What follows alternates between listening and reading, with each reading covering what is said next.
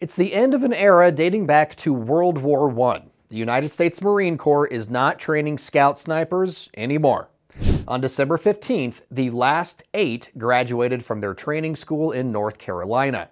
The decision to phase out scout snipers is part of the Corps' Force Design 2030, a branch-wide plan to modernize and prepare for a conflict with what the Corps calls a near-peer adversary.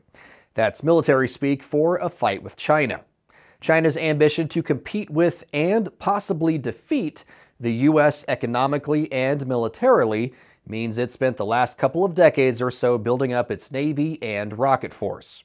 Now, the People's Liberation Army Navy is the world's largest.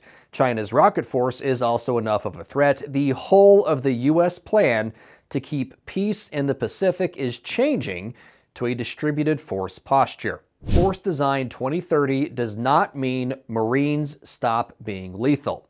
But in order to kill enemies armed with advanced sensors, Marines need to be able to scout ahead a little further than a sniper can shoot. Instead of 18-man scout sniper platoons in an infantry battalion, the Corps will field 26-man scout platoons in reconnaissance battalions.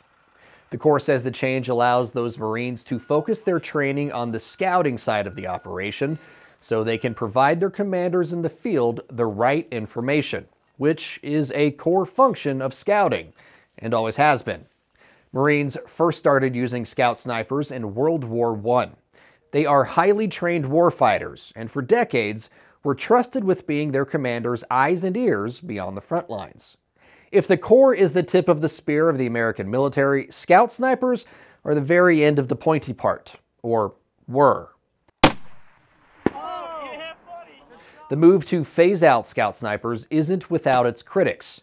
The CEO of the USMC Scout Sniper Association told Marine Corps Times Scout snipers were widely recognized as one of the most cost effective force multiplying assets on the battlefield and infantry battalions are losing capability by losing scout snipers. The Marine Corps says it still needs snipers, though. They'll be trained as recon snipers and distributed among reconnaissance battalions. So what is an infantry commander to do if they need a sniper? The Corps says some infantrymen will be trained as precision marksmen and can be called upon as needed. General Berger says the heightened focus on reconnaissance and counter-reconnaissance does not diminish the importance of lethality for Marines.